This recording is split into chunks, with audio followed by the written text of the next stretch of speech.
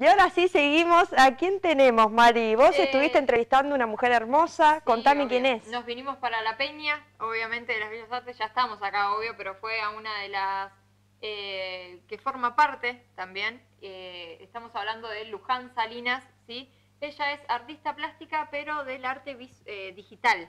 Así que Bien. como quien no quiere la cosa que llamamos a los diseñadores gráficos, ella también estudió esa carrera en lo que es la Facultad de Artes de, de La Plata de hoy en día. Pero bueno, también nos contó un poquito del recorrido que tuvo eh, en su historia, así que no la voy a espolear, voy a dejar No, que hable todo, ella, que obvio. encima la verdad que la nota se me pasó rapidísimo, súper, eh, súper viola ella, sí, súper descontracturada, así que fue como nada. También, como otra que le dijiste sí. hola, otra que mi papá, ¿o no? Sí, yo la- casi la traigo a conducir acá con, con nosotros. Tal para que haga el programa sí, ellos, sí, listo. obvio. Hacemos un cambiazo. Así es, así que bueno, vamos a verla. Bueno, vamos con Luján entonces.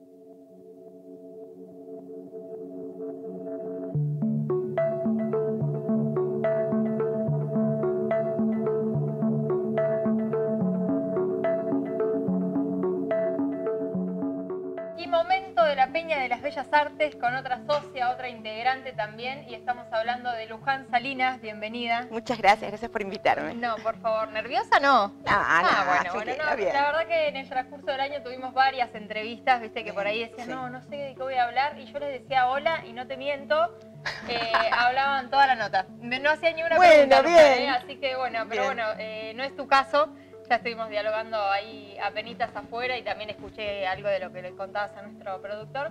Así que bueno, es momento de, de contarle a la gente también tu, Bien. tu historia y Bien. cómo arrancaste, cómo fue que te... Ella es artista plástica, arte digital. Arte ¿no? digital, o sea, actualmente, Bien, arte bien. digital. En realidad creo que mi historia es como la de muchos artistas. Empezamos a dibujar y a pintar desde que nacemos. Claro. Y bueno, ya muy chiquita, mis padres notan que estoy siempre con las pinturitas, que estoy haciendo cosas. Así que a los ocho años eh, empiezo con los talleres infantiles de una artista muy conocida, Nilda Fernández Zuliana. Hago toda mi, mi infancia, eh, yo son- vivo en Villa Elisa, mi infancia, así que eh, asisto al taller de ella. Luego hago mi secundaria con una orientación docente, otra de las cosas que me gusta mucho. Y bueno, ya cuando viene mi etapa de, de universitaria, decido lo obvio, Claro. que era la entonces Facultad de Bellas Artes de la Universidad de La Plata, hoy Facultad de Artes, y ingreso. Pero bueno, me pasa lo que les pasa a muchos, que los padres te dicen, bueno, pero te vas a morir de Sí, hambre obvio. siendo artista. Ya conozco esas historias, Sí. no te puedo imaginar la cantidad. Eso ¿eh? nos pasa a todos, así que bueno, eh, decido ingresar a, la a una carrera más afín, pero Bien. quizás que en teoría tenía más salida laboral, como es la carrera de diseño en comunicación visual. Sí.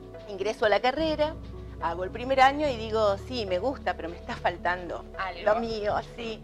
Entonces al año siguiente ingreso a la carrera de artes plásticas de la misma facultad, en la orientación pintura, con una complementaria cerámica, porque yo hacía cerámica desde chiquitita, con Hilda Fernández Zuliana.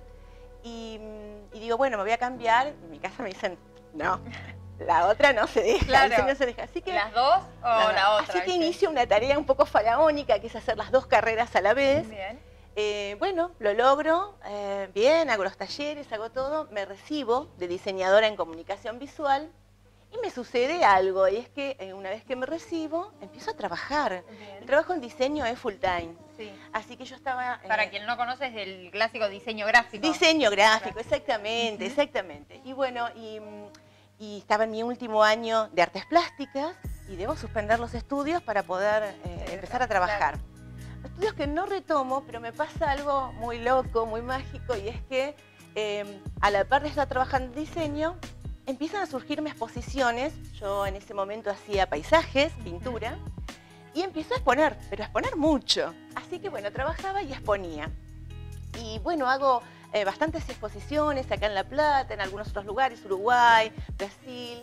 eh, y pasan los años y por circunstancias familiares, circunstancias particulares, abandono el mundo del arte, sigo con mi trabajo como diseñadora, sigo trabajando con algunos arquitectos y me alejo, me alejo del arte unos años.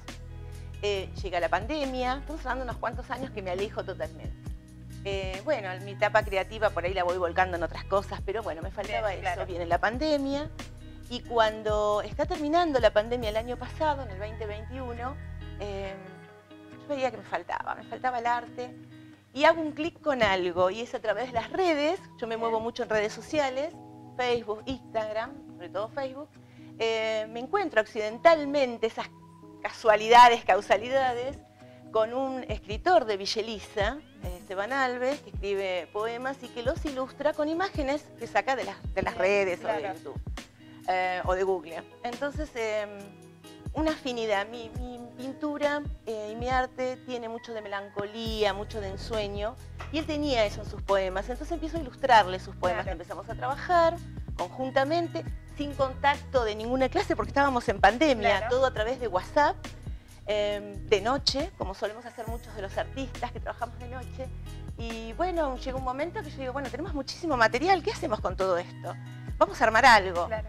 Estábamos en pandemia, no había exposiciones, estaban todos los Perdón, lugares él cerrados. escribía, vos le ilustrabas, pero él- ¿qué- ¿en, en él qué me mandaba- formato? ¿Se claro. un video o una historia? ¿O era Hace- la él publicación y me abajo? mandaba, claro, él me mandaba por WhatsApp el poema. Bien, Yo lo ilustraba y lo subía a mi computadora porque yo trabajaba todo por, por WhatsApp, por, digamos, fotografías que yo sacaba Claro. en ese momento y las trabajaba.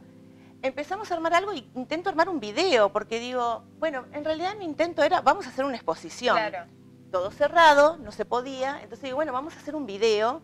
Eh, yo no tenía ni idea, pero como diseñadora me largo, Claro. donde teníamos mis imágenes eh, con los poemas de él. Con una aclaración también, y es que empezamos a ver que mis imágenes de paisaje ya no servían para ilustrar lo que él escribía, entonces empiezo a sacar fotos con mi celular y a trabajarlas en Photoshop, pero trabajarlas mucho, Sí, como sí. artista plástico. Bien. O sea, la imagen que yo logro es muy diferente a lo que puedo sacar originariamente con el celular. No es solo bajarle la saturación, No, cambiarle, no, no. Tal un cual. filtro ya hecho, tampoco, horas y horas empiezo a hacer fotomontaje incluso con partes de fotografías y armo fotomontajes muy elaboradas con mucho estudio. Logro el video y digo, bueno, muy bien, ¿ahora qué hacemos?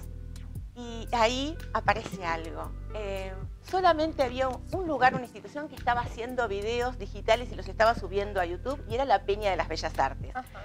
la cual yo no tenía conexión, pero la conocía de nombre, una institución renombrada en la ciudad. Eh, me acerco digitalmente, hablo con Alberto Natale, le presento el video que le gusta y decimos, bueno, la Peña auspicia y sube ese primer video en septiembre del 2021. Exitoso, Claro. así que decidimos hacer, a pedido de la gente, otro más. eh, con una, exposición virtual. Tal- ¿no entrabas sí, pero en realidad no era una exposición, sino que un video musical donde Bien. mostrábamos el texto y la Ok. imagen, ya era un armado Claro, de videoarte. Ya era un armado de videoarte. Y bueno, gusta mucho, nos dicen hagan otro. Y mm, empezamos a incursionar un poco en, a través de sus letras en algo más erótico, pero muy suave, cuerpo humano, acompañando con luces y sombras y colores esos poemas. Y dijimos, bueno, viene una segunda.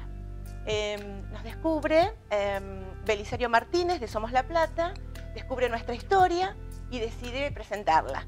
Entonces hablamos con La Peña, Alberto Natali, y presentamos el 23 de diciembre pasado el segundo video, presentado en realidad en, en el noticiero central de las 20 horas de Somos La. Plata, con Belisario, esta historia de dos artistas que no nos conocíamos todavía, no habíamos tenido trato y que trabajamos juntos, La Peña acompañándonos, y bueno, ahí ya eh, es- vuelvo al arte. Es mi vuelta con todo, eh, gracias a La Peña, eh, gracias a los artistas. Pasa el verano y viene la explosión del arte que es en marzo con el Salón de la Mujer acá en La Peña. Cuando arrancamos nosotros, más o menos, que creo que estaba el de, el de la mujer. Arrancamos todos, en realidad ya teníamos más atrás la pandemia y podíamos todos eh, actuar libremente, así que eh, ahí empieza otro mundo distinto. Decime una cosa más. Tu función en la Peña de las Bellas Artes, Bueno, obviamente, si tenés talleres primero, eh, y también a qué te gustaría aspirar como para, como Bueno, para en ir cerrando. Estoy empezando otra tarea. Ah, Eh. Voy a retroceder un poquito y te voy a contar algo. Cuando yo te digo que empiezo a exponer recién recibida, hace muchos años atrás, empiezo a exponer eh, acompañada por la Asociación de Artistas Plásticos de la provincia de Buenos Aires, que es el que me da la posibilidad de exponer, de acompañarme, de, de poder exponer con grandes artistas, Norberto Santangelo, Dido Jacopetti, Alicia Dufour, que tenemos Sí. sus cuadros atrás. Eh, la asociación me acompaña como a todos los artistas. Pasa el tiempo, esa asociación va desapareciendo por la pandemia, desaparece. Y este año decide la, pan- eh, la asociación resurgir nuevamente porque se necesita un apoyo Claro. para los artistas. Eh, y bueno, empiezan reuniones y yo asisto a una reunión eh, diciendo, ay, qué bueno, se van a conformar nuevamente. Yo era socia, Claro. quiero ver qué están haciendo. Y me encuentro con la sorpresa que se forma una comisión y quedo yo eh, encabezando Adentro. También. que te iba, te iba a espolear y, digo, no, no la voy a dejar que cuente, pero me imaginé Sí. que ibas a estar adentro. Sí, así que bueno, estamos eh, empezando Claro. nuevamente con esta tarea faraónica que es acompañar a todos los artistas de la provincia de. Buenos Aires, no No solamente, los locales. claro, me gusta y nos alegra. Luján, para cerrar, eh, redes sociales donde te pueden Sí. encontrar y obviamente si querés pasar también el, eh, esta asociación. Perfecto, bueno, yo acá soy socia con la Peña, Bien. así que acá siempre estoy conectada como socia participando permanentemente, pero soy muy redes, sí, mis redes son de arte, no Bien. personales, así que Luján Salinas en Facebook. eh, Luján Salinas en Instagram, pero hay Instagram tiene como, viste, Sí, nombres, varias, nombres sí. artísticos, Lujisali, todo seguido, que es el diminutivo. Lujisali. Con esas dos redes es con donde, donde más me muevo a- y ahí van a ver mis obras y lo que estamos haciendo. Perfecto, bueno, nos alegra mucho todos los éxitos de acá en adelante y que no pare, que no vuelva a parar por más pandemia que haya. Muchas Eh, gracias. Así que gracias por venirte a, arriba del Gracias. Eh, un mensaje para todos. Sí, Creo que dale. coincidimos con muchos de los que estamos trabajando. Eh, se puede en cualquier momento. Sí, Con ganas, eso. cualquier momento. Los se mensajes puede. que da arriba el telón son esos también, las, las historias que tiene la peña, que la verdad que han comenzado en todas las edades, Sí. así que sí, es súper importante remarcarlo. Y nosotros, bueno, tenemos que seguir con más programa, eh, pero un lujo. Muchas gracias, Muchas Luján. gracias. Gracias a ustedes. Muy bien, hermosa la nota, le mandamos un besito grande. Vamos a ver si prepara alguna galería de ella acá en la Peña de las Bellas Estaría, Artes. sí, sí, sí. obviamente. Y aparte me, me gustó esto de, de que en algún momento me echaba ¿viste, imágenes con poemas, así que está bastante interesante. Y sí, mucha experiencia también, ha vivido muchas cosas seguramente. Y vamos a seguir conociendo artistas como ella porque estamos en la Peña de las Bellas Artes, ¿no? Así es, Que ya hace eh, más de 80 años que están que acá. está, obviamente, en pleno centro, siempre lo volvemos a recorrer porque, obviamente, en las notas que vamos a ver en los próximos programas también, eh, volvemos a hablar con personas que obviamente te cuentan cómo llegaron y que es súper importante tener un lugar así, una institución así, eh, dentro de la ciudad y nada más que siempre digo, en el centro de La Plata. O sea, no se tienen que ir a ningún lado, sino que estamos acá, 49, 12 y 13. eh, Y hay de todo, hay sí, muchas opciones con la para cantidad de hacer. talleres que tienen, obviamente. Pero bueno, no lo, no lo voy a espolear.